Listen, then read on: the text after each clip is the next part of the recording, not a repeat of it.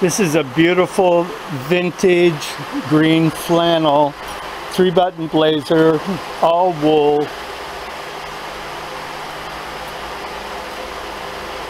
Single vent, nice sleeves, no problems.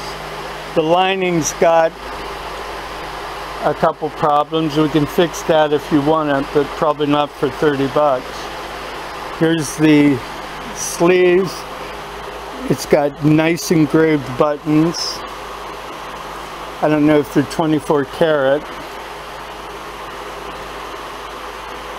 And the shell is clean. It's uh, what Robin Hood would wear if he was alive today.